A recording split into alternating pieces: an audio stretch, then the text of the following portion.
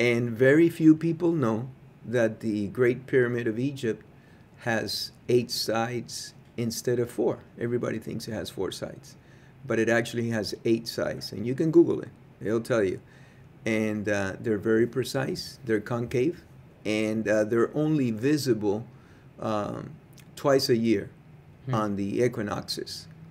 And it was actually discovered by chance when a, um, I think it was a military plane, was doing a survey and, um, you know, flew over the Great Pyramid of Egypt and saw uh, that it actually had like a break in the middle of one of the faces. And so that, uh, when he landed, he shared that with some people, and everybody told him, no, no, no, no, it can't be. But later on, it was discovered that it's not just on one face, but it's on all four.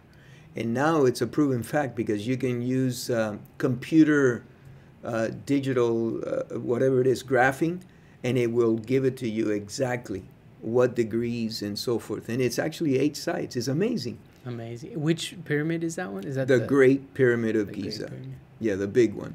It's amazing.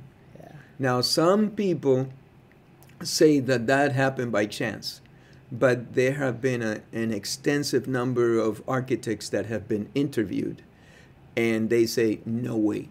Hmm. There's absolutely no way that having that concave cut in the center would have been by chance the uh, whoever engineered the pyramids had to have that all along in mind because it's a tremendous task.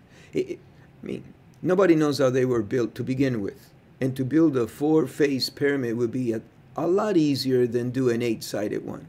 And so, I mean, so I believe them. It, the, whoever put that together uh, had that in mind from the very beginning. And they were just... Uh, geniuses mathematicians. Oh, amazing! I mean, and they align them with the stars, right?